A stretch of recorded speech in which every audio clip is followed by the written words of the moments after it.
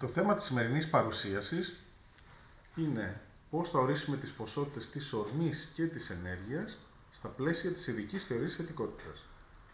Η ορμή και η ενέργεια είναι ποσότητες που στη φυσική χρησιμοποιούνται διαρκώς, κυρίως γιατί είναι ποσότητες οι οποίες σε συγκεκριμένες διαδικασίες διατηρούνται, κάτι το οποίο απλοποιεί και την κατανόηση του φυσικού φαινομένου, αλλά και τους υπολογισμούς που οδηγούν σε προβλέψεις σχετικά με αυτό. Πέρα όμως από αυτό, κάτι το οποίο θα μάθετε αργότερα, είναι ότι η ορμή και η ενέργεια σχετίζονται άρρηκτα με τις μετατοπίσεις αντίστοιχα στο χώρο και στο χρόνο. Και επειδή στην ειδική θεωρία σχετικότητας είδαμε ότι οι έννοιες αυτές εμπλέκονται όταν αλλάζουμε αδρανιακούς παρατηρητές, είναι σαφές ότι και οι έννοιες της ορμής και της ενέργειας θα πρέπει να αναθεωρηθούν και να τοποθετηθούν μέσα σε αυτό το πλαίσιο. Η διατήρηση λοιπόν της ενέργειας και της ορμής είναι ακρογωνιαίος λήθος στη φυσική και είναι μια αρχή στην οποία δεν έχουμε βρει ποτέ και πουθενά στα πειράματά μας να παραβιάζεται. Οι αρχές αυτές μας λένε ότι αν έχουμε ένα σύστημα το οποίο είναι απομονωμένο, δηλαδή δεν υπόκειται σε αλληλεπιδράσεις με ε, σωματίδια τα οποία βρίσκονται έξω από αυτό, το άθροισμα των ορμών όλων των σωματιδίων που απαρτίζουν το σύστημα είναι μια, ένα σταθερό διάνυσμα ανεξάρτητο του χρόνου. Και αντίστοιχα, η έννοια της ε, διατήρησης της ενέργειας λέει το ίδιο πράγμα για το άθροισμα των ενεργειών κάθε ενός από τα σωματίδια που απαρτίζουν το σύστημα.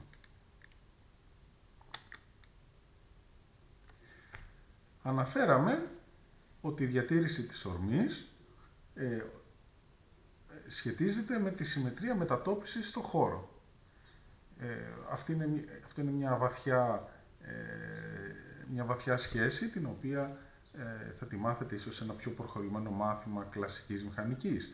Αλλά είναι κάτι το οποίο ισχύει και στην σχετικιστική φυσική αλλά και στην κβαντομηχανική. Παρομοίως, η διατήρηση της ενέργειας σχετίζεται με τη συμμετρία μετατόπισης στο χρόνο ενός απομονωμένου συστήματος. Όπως είδαμε στην ειδική θεωρία σχετικότητας, οι έννοιες του χώρου και του χρόνου εξαρτώνται από τα αδρανιακά συστήματα αναφοράς. Άρα περιμένουμε, σύμφωνα με την παραπάνω σχέση, ότι η ορμή και η ενέργεια παρομοίως θα εξαρτώνται σαν έννοιες από, την, ε, από το αδρανιακό σύστημα αναφοράς το οποίο τις μετράει.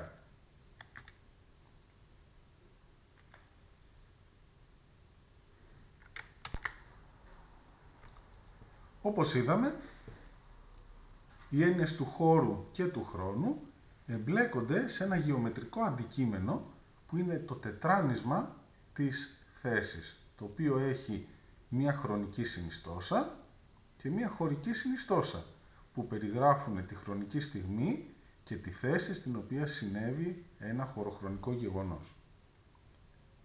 Αντίστοιχα, περιμένουμε ότι θα μπορέσουμε να εμπλέξουμε με τον ίδιο τρόπο τις έννοιες της ενέργειας και της ορμής.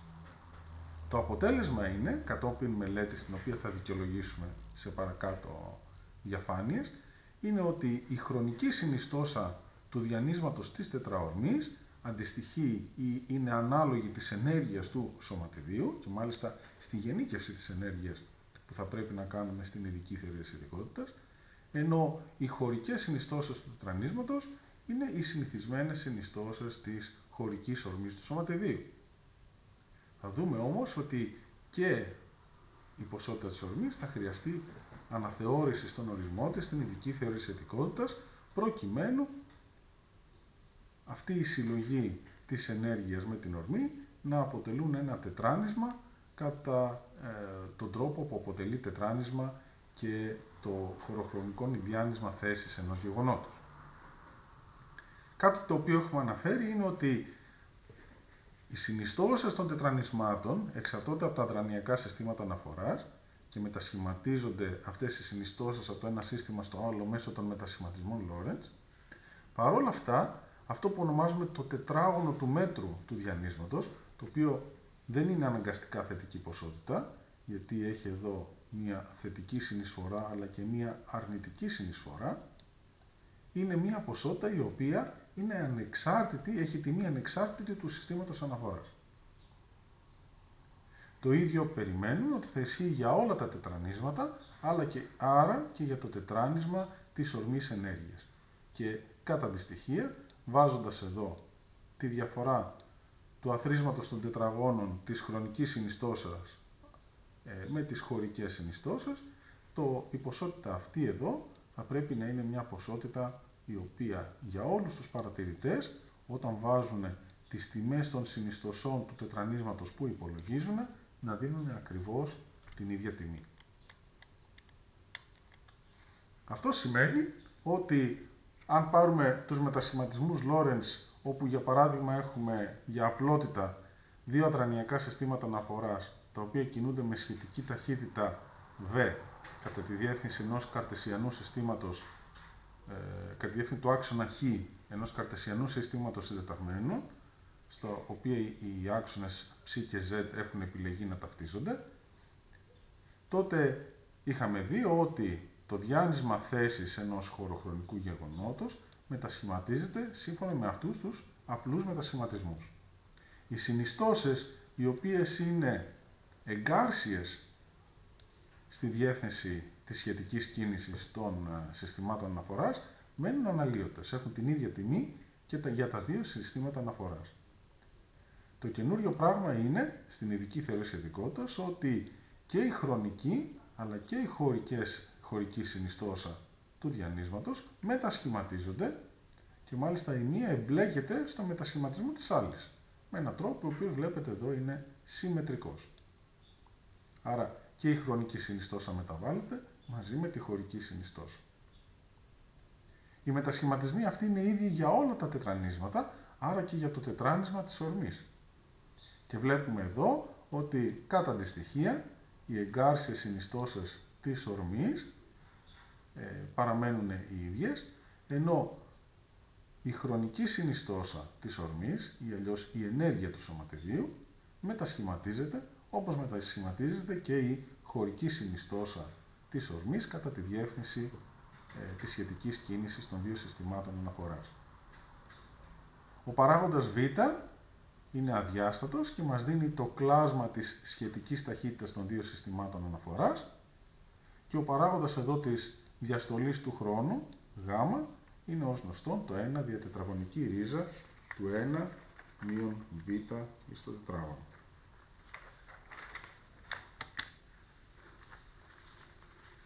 Όπως είχαμε δει στα προηγούμενα βίντεο, οι μετασχηματισμοί αυτοί αφήνουν αναλύωτες τις ποσότητες που σχηματίζονται παίρνοντας τα τετράγωνα των συνιστοσών της χρονικής συνιστώσας του διανύσματος και αφαιρώντας το άθροισμα των τετραγώνων των χωρικών συνιστοσών. Το ίδιο πράγμα, εφόσον ο μετασχηματισμός είναι πανομοιότυπος, θα συμβαίνει για τις συνιστώσεις οποιοδήποτε άλλου τετρανίσματος. Για να καταλάβουμε τη φυσική σημασία αυτών των ποσοτήτων, επιλέγουμε ειδικά αδρανιακά συστήματα αναφοράς, στα οποία οι τιμές αυτές παίρνουν ε, απλές και εύκολα κατανοητές τιμές. Για παράδειγμα, αν πάρουμε ένα γεγονός στο σύστημα αναφοράς ε, στο σύστημα αναφοράς όπου ένα γεγονός συμβαίνει ε, στην αρχή των αξώνων για οποιοδήποτε χρονική στιγμή τότε βλέπουμε ότι το χ τετράγωνο αυτού του γεγονότος είναι ίσο με σε επί τάφ τετράγωνο, όπου τάφ είναι η χρονική στιγμή που συμβαίνει το γεγονός για το σύστημα αναφοράς που έχουμε επιλέξει. Άρα, το χ τετράγωνο ενός διανύσματος χ είναι ανάλογο του ε, τετραγώνου φυσικά, του ιδιόχρονου ε, των, ε, ενός παρατηρητή δηλαδή του χρόνου που μετράει το ρολόι που έχει στο χέρι του, όπως είχαμε πει και στα άλλα βίντεο. Αν κάνουμε την αντίστοιχη δουλειά και για το τετράνισμα της ορμής, επιλέγουμε ένα σύστημα αναφοράς όπου ένα σωματίδιο βρίσκεται σε ηρεμία. Άρα η ορμή του είναι ίση με το 0. Ονομάζουμε την ενέργεια ενός τέτοιου σωματιδίου ίση με ε0, την ενέργεια ηρεμίας του σωματιδίου, οπότε βλέπουμε στην περίπτωση αυτή το τετράγωνο του τετρανίσματος είναι ανάλογο του τετραγώνου της ενέργειας ηρεμίας του σωματιδίου.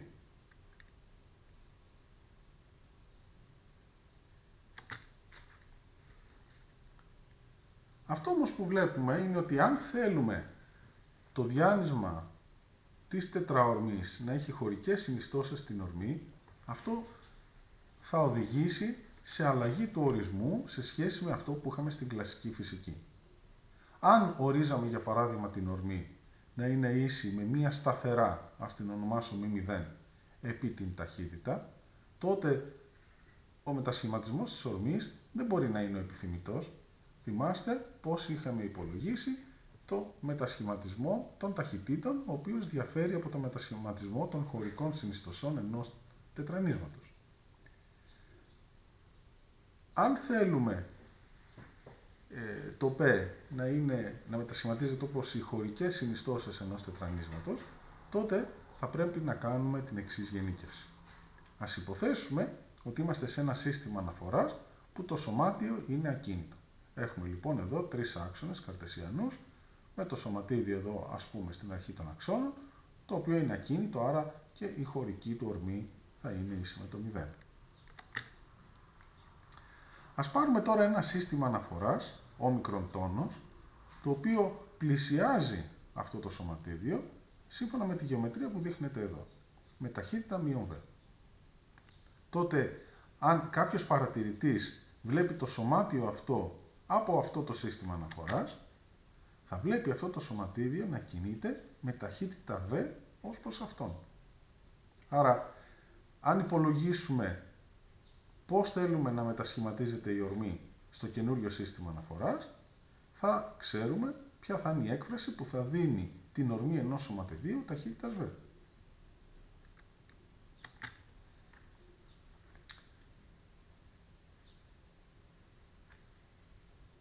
Λοιπόν, αν πάρουμε το μετασχηματισμό Lorentz για τη χρονική συνιστόσα της ορμής, η οποία θα είναι η ενέργεια του σωματιδίου στο ε, σύστημα αναφοράς που βλέπει το σωματίδιο να κινείται, στο μικροτόνος, τότε αυτή θα πρέπει να είναι γ επί την ενέργεια που έχει το σωματίδιο ε, στο σύστημα αναφοράς το οποίο είναι ακίνητο, μείον β επί την ορμή που έχει στο σύστημα αναφοράς αυτό, η οποία είναι 0. Από αυτές εδώ τις σχέσεις βλέπουμε ότι η ενέργεια που έχει ένα σωματίδιο σε ένα σύστημα αναφοράς το οποίο κινείται με ταχύτητα v είναι ίση με γ φορές την ενέργεια που έχει στο σύστημα αναφοράς στο οποίο είναι ακίνητο.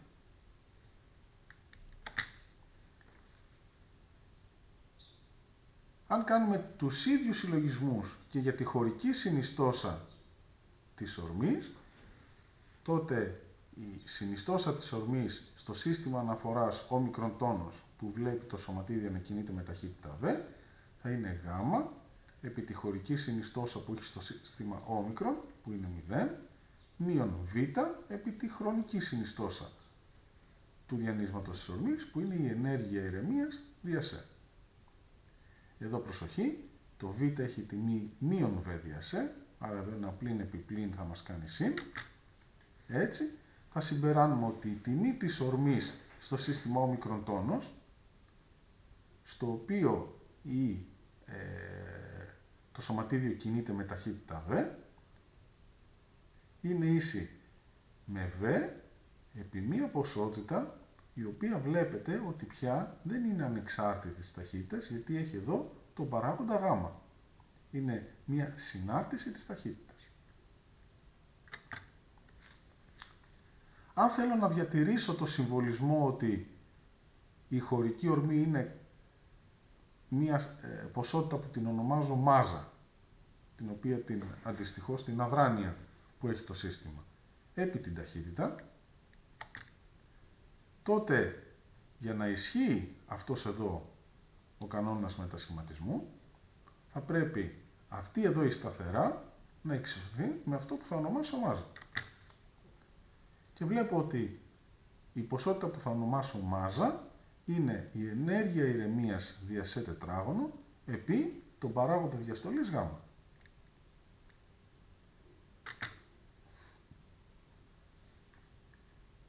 Αν πάρω αυτή την ποσότητα που είναι μια συνάρτηση της ταχύτητας του σωματεδίου, γιατί η συνάρτηση αυτή μπαίνει μέσω της ποσότητας γ, τότε αν πω ότι στο σύστημα αναφοράς όπου β είναι ίσο με το 0, το σύστημα όμικρο, η μάζα που έχει το σωματίδιο την ονομάζω μάζα ηρεμίας, για προφανείς λόγους, τότε επειδή στο σύστημα αναφοράς η σταθερή αυτή είναι ίση με γάμα, η μάζα ηρεμίας θα είναι η ενέργεια ηρεμίας δια σε τετράγωνο. Ή αλλιώς η ενέργεια ηρεμίας που μπαίνει σε αυτό το μετασχηματισμό είναι αυτό που θα ονομάσω μάζα ηρεμίας του σώματος επί σε τετράγωνο.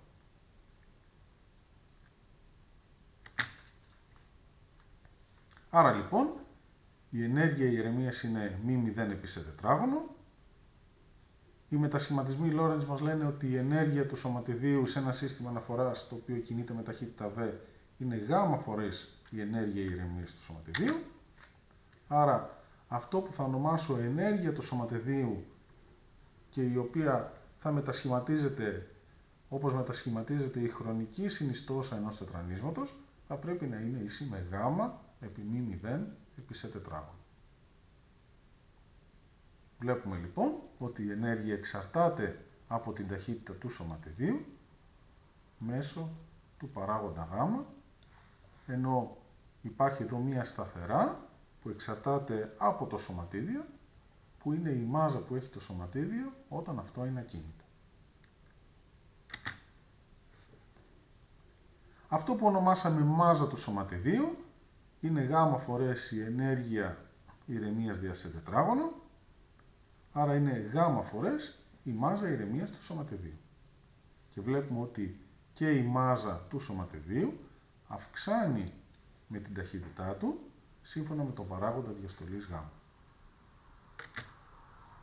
Ενώ η ορμή είναι μια ποσότητα που είναι ανάλογη της μάζας του σωματιδίου και της ταχύτητάς του, αν ε, θεωρήσουμε ότι η εξάρτηση ταχύτητας δεν είναι μόνο ε, η αναλογία που γνωρίζουμε από την κλασική νευτόνια μηχανική, αλλά έχει και μία μη γραμμική σχέση που ε, υπησέρχεται εδώ από το συντελεστή γ. Άρα η αύξηση της ορμής είναι πιο γρήγορη από ανάλογη της ταχύτητάς του στην ειδική θεωρία της ειδικότητας. Συνοψίζουμε εδώ τους τρεις τύπους τους οποίους τους εισάγει η αναγκαιότητα, το άνισμα της τετραορμής να μετασχηματίζεται όπως το τετράνισμα της θέσης των γεγονότων. Και αυτό προκύπτει από την ανάγκη να ορίσουμε μία ποσότητα που όπως στην κλασική μηχανική θα σχετίζεται με τις μετατοπίσεις στο χώρο και στο χρόνο.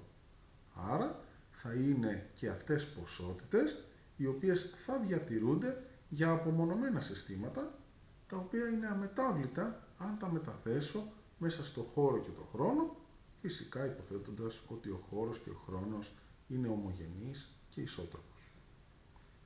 Άρα η ομογένεια και η ισοτροπία του χώρου και η ανάγκη να βρω τις ποσότητες που διατηρούνται κάτω από αυτή την αρχή με οδηγούν να γενικεύσω την έννοια της ορμής και της ενέργειας στην ειδική θεωρία της σχετικότητας σύμφωνα με τους τύπους που βλέπετε σε αυτή τη διαφάνεια.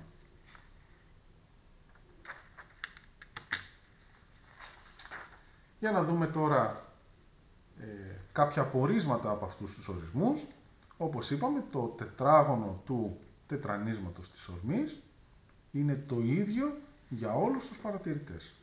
Άρα, αν πάρω την ενέργεια για την ταχύτητα του φωτός στο τετράγωνο και αφαιρέσω το τετράγωνο του μέτρου της χωρικής ορμής, αυτό θα έχει την ίδια τιμή σε όλα τα αδρανιακά συστήματα αναφοράς. Άρα θα έχει την ίδια τιμή και στο σύστημα αναφοράς όπου το σωματίδιο είναι ακίνητο. Αλλά η ενέργεια ηρεμίας στο σύστημα αναφοράς που το σωματίδιο είναι εκείνο ότι είναι μη 0 επί σε τετράγωνο. Άρα βλέπουμε ότι το π στο τετράγωνο είναι μη 0 σε ή στο τετράγωνο. Είναι μια ποσότητα δηλαδή σταθερή, εξαρτάται από το σωματίδιο που θεωρώ και είναι ε, ανάλογη του μη 0 ή στο τετράγωνο, της μάζας ειρηνίας στο τετράγωνο. Άρα λοιπόν, εφόσον το 5 τετράγωνο παραμένει αναλύωτο και τα δεξιά μέλη είναι αναγκαστικά ίσα, άρα το τετράγωνο της ενέργειας μείον το τετράγωνο της ορμής μας κάνει το μη 0 επί στο τετράγωνο. Αν θέλω να το γράψω σαν μία σχέση μεταξύ ενέργειας και ορμής, πολλαπλασιάζω επί σε τετράγωνο και τα δύο μέλη και βρίσκω εδώ μία σχέση μεταξύ της ενέργειας, εδώ στο αριστερό μέλος, και της, του μέτρου της χωρικής ορμής του σωματιδίου. Αυτό λέγεται στη φυσική σχέση διασποράς και είναι η γενίκευση της σχέσης μεταξύ ενέργειας και ορμής της κλασικής νευτόνιας φυσικής που μας λέει ότι η ενέργεια είναι 5 τετράγωνο δια 2 μη 0.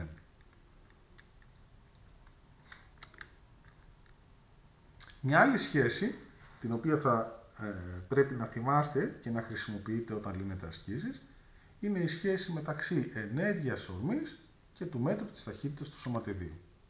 Αυτή βγαίνει πολύ απλά, χρησιμοποιώντας τις σχέσεις μεταξύ ενέργειας και μάζας και ορμής και μάζας και ταχύτητας και διαρώντας τις κατά μέλη. Και μας λέει ότι ο λόγος της ορμής του σωματιδίου προς την ενέργειά του είναι ανάλογος της ταχύτητάς του, του μέτρου της ταχύτητάς του. Και ειδικότερα το μέτρο της ορμής επί την ταχύτητα του φωτός δια την ενέργεια του σωματιδίου μας δίνει το κλάσμα της ταχύτητας του φωτός, σε σχέ... της ταχύτητας του σωματιδίου σε σχέση με την ταχύτητα του φωτός στο κοινό.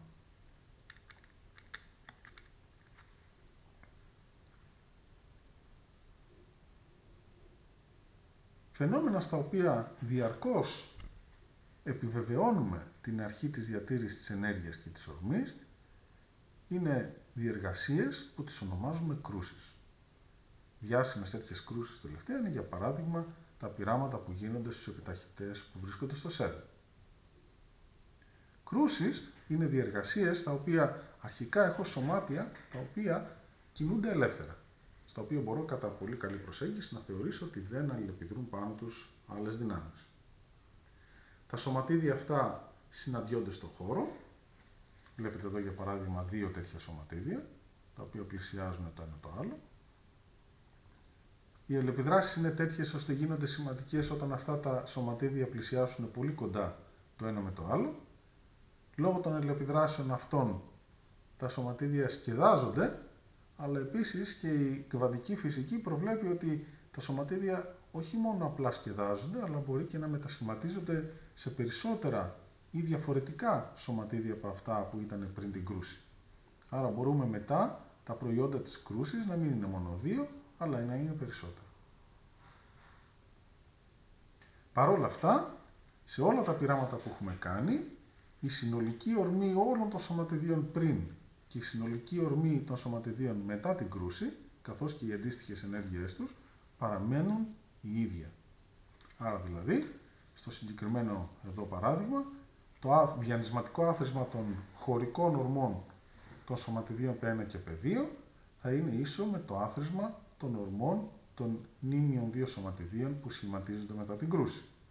Και το αντίστοιχο θα ισχύει και για το άθροισμα των ενεργειών των σωματιδίων πριν και μετά την κρούση. Αυτό σημαίνει ότι η διατήρηση της ορμής και της ενέργειας οδηγεί σε, ε, μπορούμε να την εκφράσουμε πιο, με μία μόνο εξίσωση, πιο συμπυκνωμένα, σαν τη διατήρηση του διανύσματος της τετραορμής. Το διάνυσμα της τετραορμής έχει χρονική συνιστόσα της ενέργειας και χωρική συνιστόσα της ορμές. Άρα, παίρνοντας αυτές τις δύο σχέσεις, βλέπουμε ότι είναι ισοδύναμες με την σχέση η οποία φαίνεται εδώ πέρα. Τα τετρανίσματα τα χρησιμοποιούμε πάρα πολύ γιατί μας βολεύουν να κάνουμε τους υπολογισμούς απλούστερα.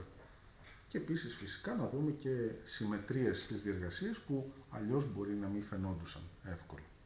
Αλλά πρακτικά αυτό που κάνουμε είναι να πάρουμε, να θεωρήσουμε ένα βολικό αδρανιακό σύστημα αναφοράς όπου οι ορμές και οι ενέργειες των σωματιδίων έχουν κάποια απλή μορφή να κάνουμε εκεί τους υπολογισμούς, εφαρμόζοντας την αρχή διατήρησης της ενέργειας και της ορμής και μετά να πάρουμε τα αποτελέσματα και να τα μετασχηματίσουμε στο σύστημα το αδρανιακό στο οποίο κάνουμε τα πειράματα.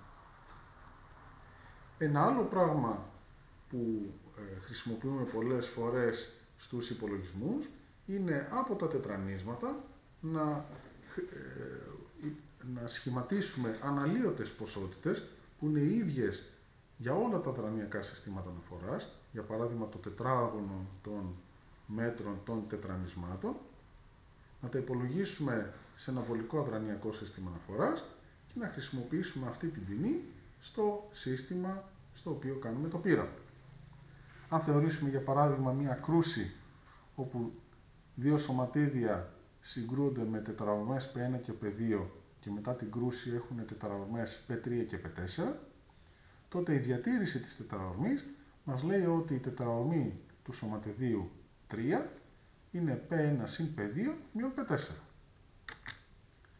Αν υψώσουμε στο τετράγωνο και τα δύο μέλη, στο δεξί μέλος άμα κάνουμε την άλγευρα θα πάρουμε απλά P1 τετράγωνο και P2 τετράγωνο και P4 τετράγωνο συν δύο φορές τους συνδυασμούς, ε, τους διασταυρωτούς μεταξύ των ορμών P1, P2 και P4. Αλλά θυμόμαστε ότι το τετράγωνο των τετραγωνών για οποιοδήποτε από αυτά τα σωματίδια, Ι, ε, όπου PJ αναφέρεται στο P1, P2, P3 και P4, είναι η μάζα του σωματιδίου στο τετράγωνο. Ενώ τα εσωτερικά γινόμενα P1, P2, P1, P4 κτλ. Είναι τα αντίστοιχα γινόμενα των χρονικών και χωρικών συνιστοσών. Με την προσοχή βέβαια, οι χωρικές συνιστώσεις να πέρχονται εδώ με ένα πλήν. Οπότε, αν στα τετράγωνα στο δεξί μέλος εδώ βάλουμε τις μάζες ηρεμίας και εδώ στα, στους διασταυρωτούς όρους αντικαταστήσουμε τα εσωτερικά γινόμενα, παίρνουμε στο αριστερό μέλος μια ποσότητα που είναι ανάλογη του τετραγώνου της μάζας του τρίτου σωματιδίου. Εδώ παίρνουμε τα τετράγωνα των μαζών των σωματιδίων 1, 2 και 4 και από τους όρους εδώ της διασταύρωσης παίρνουμε σχέσεις μεταξύ των χωρικών ορμών των σωματιδίων 1, 2, 4 και των αντίστοιχων ενεργειών τους. Αυτό που κερδίσαμε είναι ότι με πολύ απλό τρόπο, αν η ορμή του τρίτου σωματιδίου δεν μας ενδιαφέρει, βλέπετε ότι έχει εξαφανιστεί από τον υπολογισμό και έχουμε απαλείψει ε, ένα αριθμό από παραμέτρους ε, της διεργασίας, που είναι η ε3 και οι τρεις συνιστώσεις της P3. Και αυτό το τρικ το κάνουμε συχνά. Για να δούμε τώρα εφαρμογές αυτών που είπαμε, προκειμένου να έχουμε μια βαθύτερη κατανόηση όσων είπαμε. Ας πάρουμε μια άσκηση. Έχουμε ένα σωματίδιο μάζας κεφαλαίου μη, το οποίο είναι ακίνητο στο σύστημα αναφοράς του εργαστηρίου μας και ξαφνικά διασπάται σε τρία σωματίδια τα οποία έχουν ίση μάζα ηρεμίας. Ας την πούμε M μικρό. Και βλέπουμε τις διευθύνσεις που κινούνται να είναι αυτές που φαίνονται στο σχήμα. Οι δύο από αυτές είναι κάθετες μεταξύ τους, ενώ το τρίτο φεύγει προς μια άγνωστη τρίτη κατεύθυνση, την οποία θέλουμε να υπολογίσουμε και τα μέτρα των ταχυτήτων αυτών των δύο σωματιδίων είναι 8 ε, δέκατα και 6 δέκατα αντίστοιχα της ταχύτητας του φωτός. Και θέλουμε να υπολογίσουμε τη διεύθυνση κίνησης του τρίτου σωματιδίου, την ταχύτητα που έχει και τον λόγο της μάζας ε, ηρεμίας των τριών αυτών σωματιδίων προς τη μάζα ηρεμίας του αρχικού σωματιδίου. Λοιπόν, για να λύσουμε προβλήματα τα οποία ε, αφορούν κρούση σωματιδίων, αυτό που κάνουμε είναι εφαρμόζουμε τη διατήρηση της ορμής και της ενέργειας αμέσως πριν και αμέσως μετά την κρούση. Εδώ γράφω τα τετρανίσματα των σωματιδίων που εμπλέκονται στην κρούση. Το σωματίδιο, το οποίο είναι αρχικά ακίνητο, έχει πριν την κρούση τετραορμή P0, το, η οποία επειδή είναι ακίνητο, οι χωρικές συνιστώσεις είναι 0. Έτσι. πχ, πψ και πζ είναι 0. Έχει όμως μάζα ηρεμίας, ε0 δια Μετά την κρούση έχω τα τρία σωματίδια, τα οποία έχουν ορμή P1, P2 και P3. Το σωματίδιο με ορμή P1 κινείται στην αρνητική διεύθυνση του άξονα των Χ, άρα έχει μη μηδενική συνιστόσα ε, της ορμής στον άξονα των Χ με αρνητική τιμή που είναι ο συντελεστής Γ1 που προκύπτει από την ταχύτητα P1, τη μάζα ηρεμίας M του σωματιδίου και την ταχύτητά του V1. Επίσης έχει ενέργεια ε1 δια η οποία δεν είναι όμως η ενέργεια ηρεμίας. Το σωματίδιο 2 κινείται στην αρνητική διεύθυνση του άξονα των ψ, άρα έχει μη μηδενική ψ συνιστόσα της ορμής που είναι μείον γ2 μάζα ηρεμίας που είναι ίδια με το σωματίδιο 1 επί την ταχύτητα V2 και ενέργεια ε2 δια Ενώ το τρίτο σωματίδιο κινείται προς άγνωστη κατεύθυνση πάνω στο επίπεδο χ, αυτό το επιβάλλει η διατήρηση της ορμής, έτσι βλέπετε όλες εδώ οι ορμές είναι 0 στη z διεύθυνση και έχει συνιστώσεις ορμής στον άξονα των χ και στον άξονα των ψ, τις οποίες θα υπολογίσουμε. Η αντίστοιχη του ενέργεια είναι ε3 και το ε3 δια είναι η χρονική συνιστόσα του διανύσματος της τετραορμής.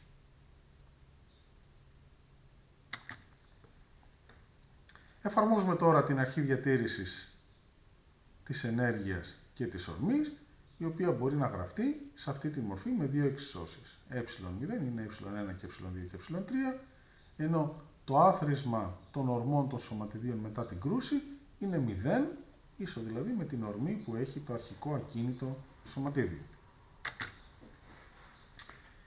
Η διατήρηση της ορμής προκύπτει ε, μας δίνει εξισώσεις που αφορούν τις δύο συνιστώσεις στο επίπεδο χ. Η χ συνιστόσα μας λέει ότι η P1 και η χ συνιστόσα P1 και P3 πρέπει να κάνει 0 και η ψ συνιστόσα P2 και P3 πρέπει να κάνει 0. Άρα, αντικαθιστώντας τις τιμές που υπολογίσαμε στην προηγούμενη διαφάνεια, η χ συνιστόσα της ορμής του τρίτου σωματιδίου είναι γ1mv1 και η ψή συνιστόσα είναι γ2 μ2. Άρα μπορούμε αμέσως να υπολογίσουμε τη διεύθυνση κίνησης του τρίτου σωματιδίου, η οποία θα είναι στη διεύθυνση της ορμής, άρα η γωνία θ θα έχει εφαπτώμενη που είναι η ψ προς τη χ συνιστόσα. Και αντικαθιστώντας εδώ τις τιμές, βλέπουμε ότι η τιμή αυτή είναι 9 δεκατάεκτα. Από όπου μπορούμε να υπολογίσουμε και τη γωνία θ. Παίρνουμε τώρα την αρχή διατήρησης ενέργειας. Γιατί; Γιατί θέλουμε να υπολογίσουμε την ταχύτητα του τρίτου σωματιδίου. Αυτό δεν μας το δίνει η διατήρηση της ορμής όπως βλέπουμε και θα πρέπει να χρησιμοποιήσουμε την αρχή διατήρησης της ενέργειας.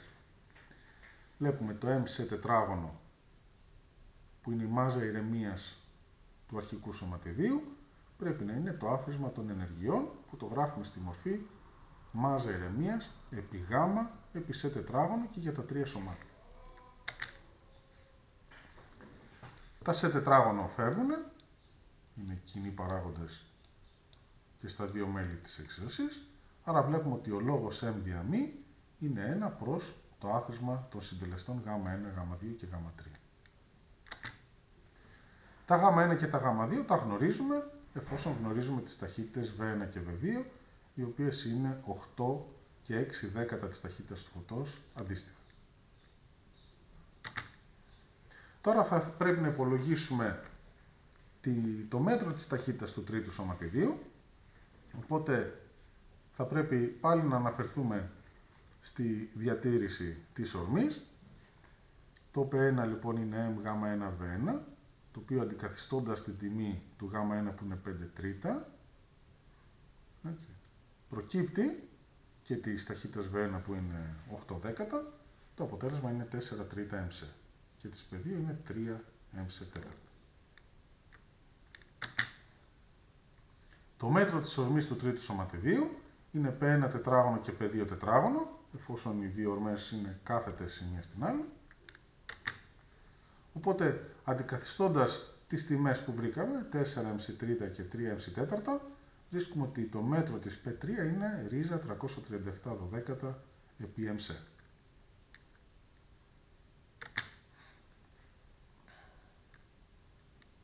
Αυτές τις τιμές μπορούμε να τις χρησιμοποιήσουμε στη σχέση μεταξύ της ορμής του τρίτου σωματιδίου με την ενέργειά του. Το P3 τετράγωνο είναι P1 τετράγωνο και P2 τετράγωνο, το αντικαθιστούμε. Βάζουμε τις τιμές που βρήκαμε παραπάνω και βλέπουμε ότι η ενέργεια έχει αυτήν εδώ την τιμή που είναι φυσικά ανάλογη του MC τετράγωνο.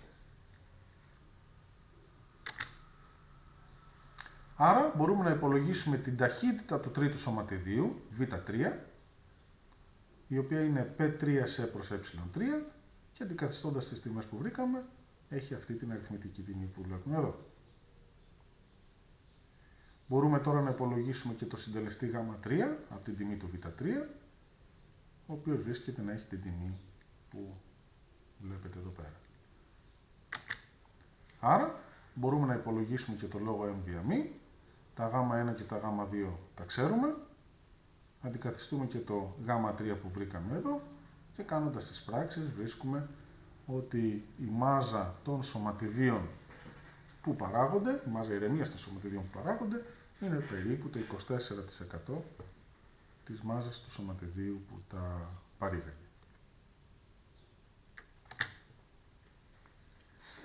Για να δούμε και ένα άλλο παράδειγμα. Ας υποθέσουμε ότι στο σύστημα του εργαστηρίου έχουμε ένα σωματίδιο που έχει μάζα ηρεμίας μη μικρό και συγκρούεται με ένα όμοιο σωματείο ίδιας μάζας ηρεμίας με ταχύτητα σε τέταρτα. Μετά την κρούση παράγονται δύο διαφορετικά σωματίδια. Ένα σωμάτιο το οποίο έχει μάζα ηρεμίας μη και ένα φωτόνιο. Το φωτόνιο κινείται με την ταχύτητα του φωτός. Άρα η μάζα ηρεμίας του είναι 0. Αν μετά την κρούση βρίσκεται ότι η γωνία φ είναι 56 μοίρες, τότε θέλουμε να υπολογίσουμε το ποσοστό της αρχικής ενέργειας του κινούμενου σωματιδίου, που μετατρέπεται σε ενέργεια του φωτονίου, και το μέτρο της ταχύτητας και η μάζα του άλλου σωματιδίου.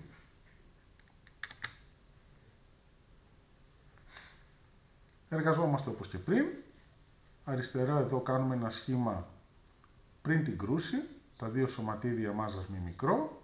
Το πρώτο σωματίδιο κινείται με ταχύτητα V1, άρα έχει και χωρική ορμή με χ συνιστόσα ίση με P1, ενώ η ψ συνιστόσα είναι 0. Ενώ το άλλο σωματίδιο είναι ακίνητο. Άρα η χρονική συνιστόσα είναι η ενέργεια ηρεμίας δια σε, δηλαδή η μάζα ηρεμίας επί σε. Ενώ επειδή είναι ακίνητο, η ορμή του είναι 0. Μετά την κρούση έχουμε το σωματίδιο μάζας μη κεφαλαίο, το οποίο την ορμή την ονομάζουμε P3. Η χρονική συνιστόσα είναι η ενέργεια του σωματιδίου δια σε, ενώ αν P3 είναι το μέτρο της ορμής του, τότε η χ συνιστόσα είναι P3 συν ημίτον οφή και η ψ συνιστόσα είναι P3 επί ημίτον οφή. Στο φωτόνιο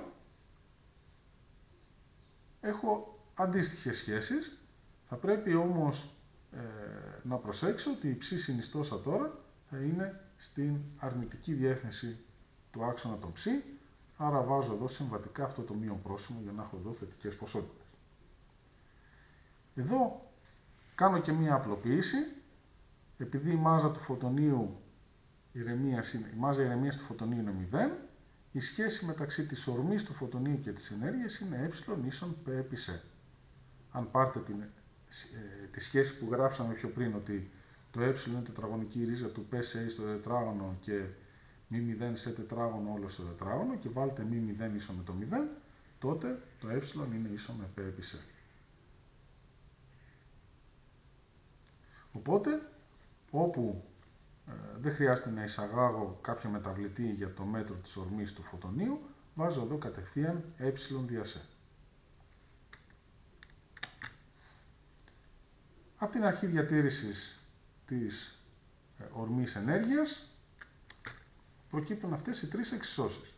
Η πρώτη εξίσωση αφορά τη z συνιστόσα της συνολικής ορμής και μας λέει, ε, τη, συγγνώμη, της ψη, η ψη συνιστόσα της ε, ε, ορμής εδώ πέρα, ε, που λέει ότι το άθροισμα των δύο συνιστοσών πρέπει να είναι 0, άρα P3 ημί τον οφή, μείον ε δια σε ημί τον οφή κάνει 0.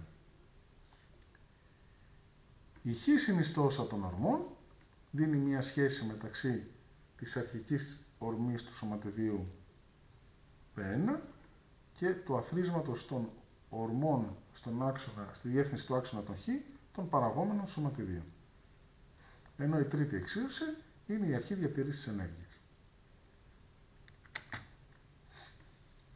Λοιπόν, η πρώτη εξίσωση μας λέει ότι το μέτρο της ορμής του σωματιδίου μάζας μη κεφαλαίου είναι ε δια σε, ίσο με το μέτρο δηλαδή της ορμής του φωτονίου. Η δεύτερη εξίσωση, αν αντικαταστήσω όπου ε δια σε εδώ το P3, βλέπω ότι αυτοί οι δύο όροι είναι ίσοι μεταξύ τους, άρα βρίσκω ότι η σχέση μεταξύ της αρχικής ορμής του σωματιδίου και της τελικής ορμής P3 είναι P1 ίσον 2P3 επί συνήμη των οφή. Άρα μπορώ να υπολογίσω την P3 από την, αν γνωρίζω την ορμή P1, δια 2 επί συνήμη των οφή. Άρα, η πρώτη ερώτηση που μου ζητάει το ποσοστό της ενέργειας που μετατρέπεται σε ενέργεια του φωτονίου μπορεί να υπολογιστεί από το λόγο ε προς ε1. Το ε έχει υπολογιστεί από τη σχέση 4, είναι P1 σε 2 συν τον αφή. Το ε1 είναι η αρχική ε, ενέργεια του σωματιδίου P1 και επειδή το P1 σε προς ε1 μας κάνει την ταχύτητα του σωματιδίου πριν την κρούση, που είναι ίση με 1 τέταρτο της ταχύτητας του φωτός, μπορώ να συμπεράνω ότι ο λόγος αυτός είναι περίπου 0,224. Άρα περίπου το ε είναι το 22% της αρχικής ενέργειας του κινούμενου σωματιδίου. Λοιπόν, να υπολογίσουμε τώρα το μέτρο της ταχύτητας και τη μάζα. Πάμε στην τρίτη εξίωση, διατήρησης ενέργειας.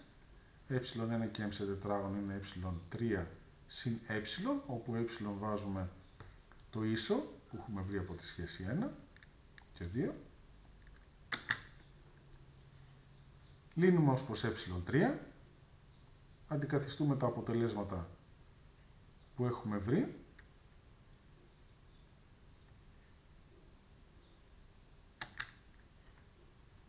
η ορμή P1 εδώ βλέπετε είναι γ1 mv1 έτσι κάνω εδώ λίγο άλγερο, βάζω εδώ το σε τετράγωνο και το σε για να απλοποιήσω την παράσταση και βλέπω ότι η ενέργεια ε3 είναι περίπου 1,8 φορές ε, η μάζα, ε, η ενέργεια ηρεμίας του, των αρχικών σωματιδίων.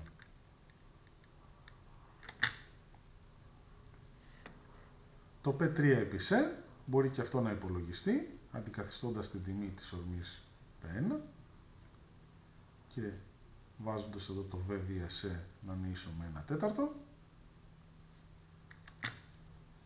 Οπότε η ταχύτητα V που ζητείτε είναι ο λόγος P3 σε προς ε3 τους οποίους τους έχω υπολογίσει παραπάνω.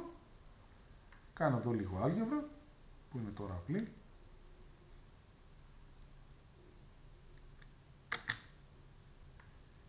και υπολογίζω ότι το κλάσμα της ταχύτητας είναι περίπου το 1 δέκατο της ταχύτητας του φωτός.